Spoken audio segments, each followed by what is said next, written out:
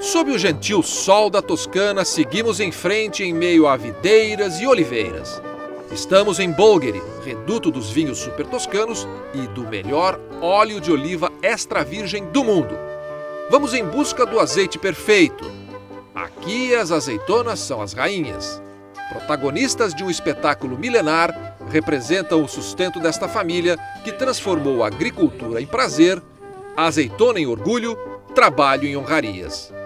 De pai para filho há gerações, eles ganharam em 2013 uma disputa com mais de 1.600 produtores de todo o mundo.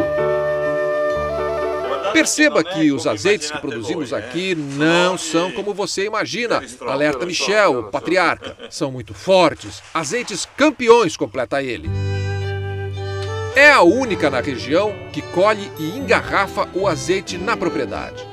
O cuidado extremo, claro, foi recompensado. Ganharam praticamente todos os principais prêmios mundiais.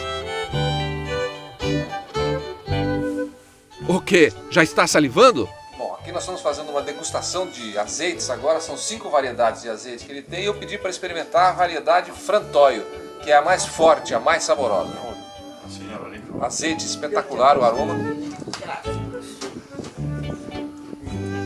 O sabor é leve, frutado, um pouquinho amargo, um pouquinho amargo, mas delicioso na hora de descer. Ele tem um, um taste, um sabor muito bom.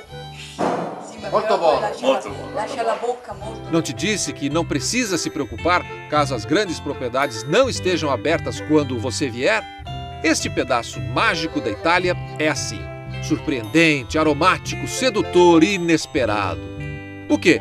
Continua preocupado com horários, preços e lugares para visitar? Então vai lá no portal que vi pelo mundo, tá tudinho lá, va bene?